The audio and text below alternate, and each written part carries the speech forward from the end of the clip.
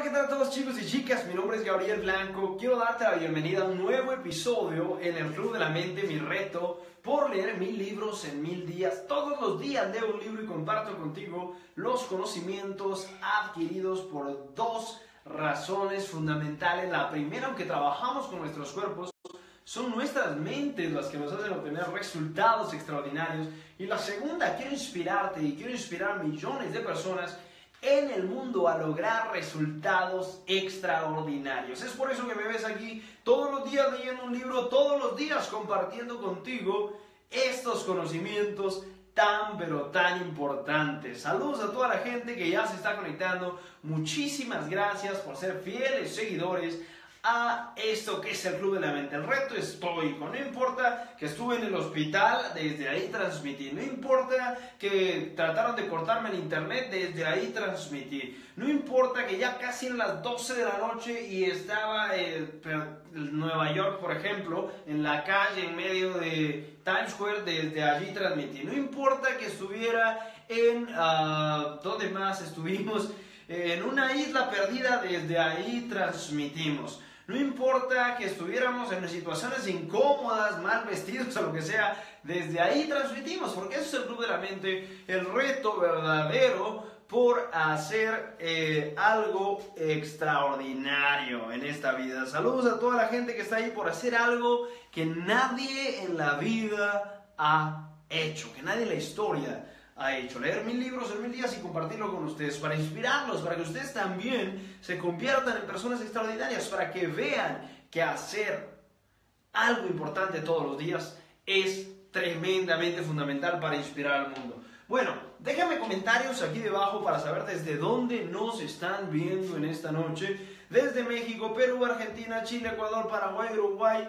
Hoy estoy muy, muy, muy feliz porque tengo mis marcadores nuevos, mis marcadores nuevos, ya no pintaban nada y entonces compramos otros más. bueno, saludos a toda la gente que ya se conecta. Hoy vamos a hablar de tres temas importantes. Vamos a ver cuál es el más importante de todos.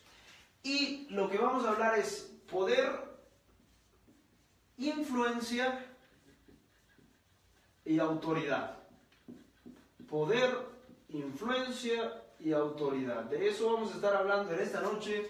¿Cuál de estos es más importante en el liderazgo, por ejemplo? Si es más importante el poder, es más importante la influencia o es más importante la autoridad en el tema del liderazgo. Saludos a toda la gente que ya se va a ir conectando. Poder, influencia y autoridad, ¿cuál será más importante de estos, déjame tu comentario y dime cuál es más importante para ti. Si el poder, si la influencia o la autoridad. Antes de adentrarnos en este tema de liderazgo tan importante, definamos cada uno de ellos. ¿Qué es el poder? Veamos. Déjame tus comentarios aquí para darme tu opinión. ¿Qué es el poder en el tema del liderazgo? Según este autor, de hecho, este es un libro que se llama así, Poder, Influencia y Autoridad, de Miguel Rosique, es un autor español seguramente, um, habla así, Poder, Influencia y Autoridad. El autor dice que poder es obviamente título y posición. ¿Sí? Es cuando te hacen caso, por decir, tus influencias, dice Rose, la influencia, dice Roy, Vamos a ver cuál de estos es el más importante. Vamos a ver cuál gana las votaciones, si gana la influencia, el poder o la autoridad. El poder es tener un título, tener una posición y que te hagan caso porque tú eres el jefe, porque tú eres el que manda, por obligación. Digamos que en el ámbito del poder está el que es el gerente, el que es el jefe del resto. Entonces, sencillamente por estructura jerárquica, te tienen que hacer caso, porque tú eres el jefe. ¿Sí? Es imponerte a los demás y tener la posición más alta de poder. ¿Cuál es el siguiente? La definición de influencia. Déjame tus comentarios y dime por qué dijiste que influencia es el más importante. ¿Qué significa influencia para ti? ¿Qué significa poder para ti? Influencia es liderazgo, es persuasión. Influencia es liderazgo, influencia es persuasión. ¿Sí? Influencia es liderazgo, influencia es persuasión, lo cual quiere decir que eres una persona que realmente impacta, persuade, eh, convence a los demás. Entonces, este del poder, de hecho, es el nivel más bajo que puede existir de liderazgo. Es cuando, porque sí, te tienen que obedecer. Influencia es cuando tú logras convencerlos de que te deben obedecer. Básicamente tú te conviertes en un líder, en alguien que los guía, en alguien que les comparte cosas que son importantes para ellos, se convierte en un líder, alguien de influencia, alguien de quien quieres escuchar.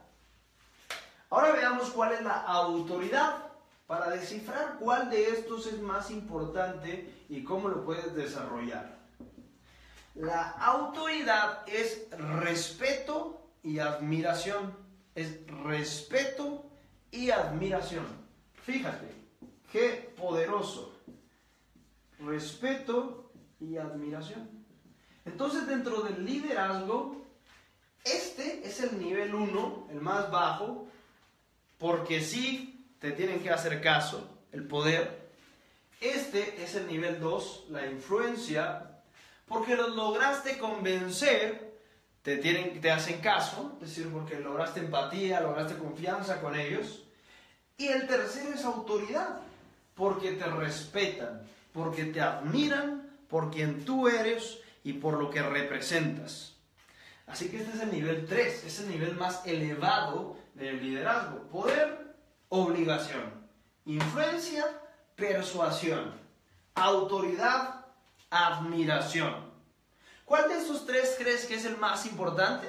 Te voy a decir, personalmente, aunque veo que la mayoría dijo que eh, la influencia es el más importante, el tercero es el más poderoso de todos, autoridad.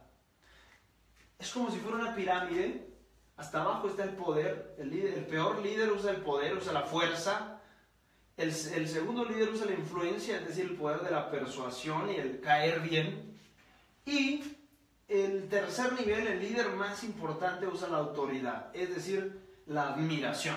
Ya ni siquiera tiene que convencerlos, ya ni siquiera tiene que convencerlos para que hagan algo, para que lo sigan, para que actúen.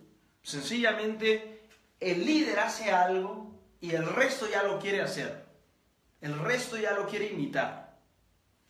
Ahora te voy a dar saludos a Andy, ¿cómo estás? Edward, ¿quién más está por ahí conectado? Poder dice trascender, impactar, dice Rose, Jenny, ¿cómo estás? Joel, Jesse, ¿cómo estás? Déjame comentarios aquí para hacerme saber que estás ahí conectado.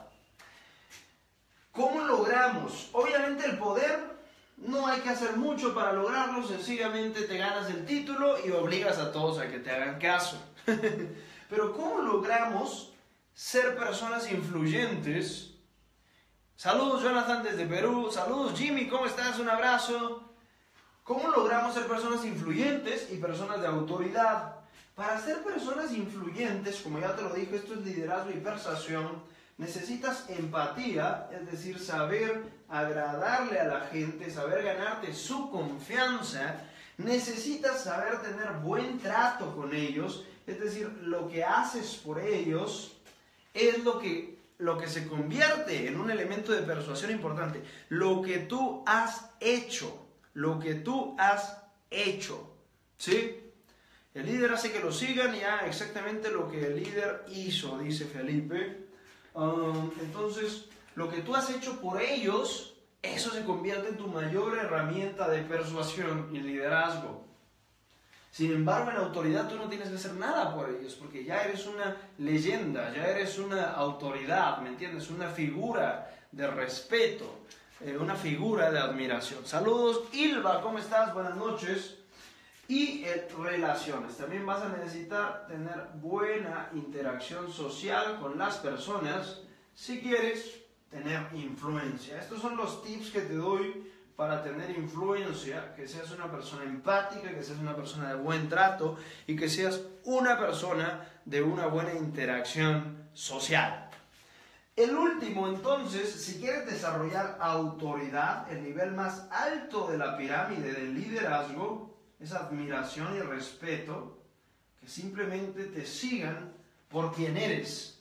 Ya ni siquiera tengas que convencerlos, ya ni siquiera te siguen porque eres el jefe o el líder el, que manda. No, sencillamente todo el mundo ya te quiere seguir.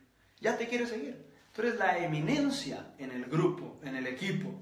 Sin embargo, no significa esto que seas una persona soberbia ni nada por el estilo. Eres una persona humilde, una persona que está al servicio, a la disposición, todos lo saben, pero tú eres, ¿sí? Todo el mundo sabe de ti, todo el mundo habla de ti. Eso es autoridad. Todo el mundo te admira, todo el mundo te respeta, todo el mundo quiere ser como tú. Eso es autoridad. ¿Qué necesitas para hacer autoridad como un líder? Primero que nada, los líderes de autoridad son personas con visión. ¿sí? Visión significa, son personas que ven dos, tres, cuatro, cinco pasos, cinco años adelante que el resto. Eso es visión. Tienes que ser una persona que vaya adelantada a los demás. Una persona que va guiando los pasos una persona que va liderando al grupo, una persona que tiene seguridad en sí, confianza, ¿sí? que sabe hacia dónde va, definitivamente, y que decide hacia dónde va, eso es autoridad. Y el segundo, si quieres ser autoridad, predica con el ejemplo. ¿sí? Tú no necesitas para tener poder, por ejemplo, puedes pedirle a todo el mundo que llegue temprano y tú no llegar temprano poder, eres el jefe. Tú no necesitas predicar con el, ejemplo para ser alguien de influencia, porque ellos te hacen lo que tú quieres simplemente porque tú los persuades, porque tú los convences, porque haces, hacen, haces mucho por ellos. Entonces eres alguien de influencia, alguien que agrada, alguien que cae bien, alguien que pues es inteligente y todo, pero alguien de autoridad predica con el ejemplo. Si tú exiges trabajo duro, tú trabajas duro. Si tú exiges eh, una sonrisa, tú tienes una sonrisa. Si tú exiges ah, fortaleza emocional, tú tienes fortaleza emocional. Ese es el segundo consejo para poder ser alguien de autoridad. Primero, tener visión y segundo, predicar con el ejemplo. Estos son los consejos de hoy para poder tener poder, influencia y autoridad. El resumen, ¿cuál es el mejor de todos? Autoridad. ¿Por qué? Porque tú ya te convertiste en alguien que hace las cosas por quien eres. ¿Cuál debes de tener? Todos. Ojalá tengas el título, ojalá tengas la influencia y ojalá tengas la autoridad. O sea, tengas el control del mando legalmente. Ah, la gente te quiera y le agrades y hagas cosas por ellos. Y uh, tengas autoridad y todos te respeten, te admiran y quieran ser como tú.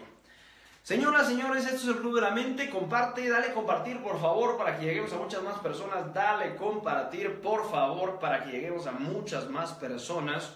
Mándame un mensaje si quieres aprender a hacer tu negocio en Internet. Esto es el Club de la Mente, mi reto por leer mil libros en mil días. Todos los días leo un libro y comparto contigo los conocimientos adquiridos ¿Por qué? Por dos razones fundamentales. La primera, que trabajamos con nuestros cuerpos, son nuestras mentes las que nos hacen obtener resultados extraordinarios. Y la segunda, quiero inspirarte y quiero inspirar a millones de personas alrededor del mundo a lograr resultados extraordinarios. Dale compartir, un abrazo, hasta mañana.